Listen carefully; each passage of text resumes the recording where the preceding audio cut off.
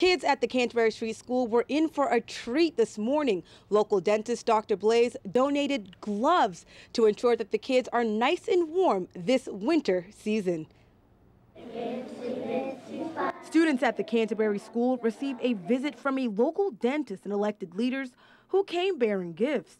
Principal Mary Seeley says the gifts were much appreciated. We try to have outdoor recess as much as possible. So with the cold air, exposed skin is is um, you know uh, exposed and sensitive to the cold, and we don't want anybody to have frostbite.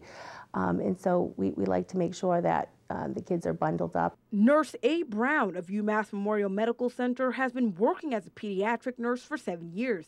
She says as the temperatures drop, it's the responsibility of parents to make sure their children are clothed appropriately. You can't tell your kids and say, if you get cold, you come in. The kids will never come in because they're going to forget that they are cold because they're so numb. So it's for the parents just to dress them warm and then keep an eye on them and then restrict the playtime outside.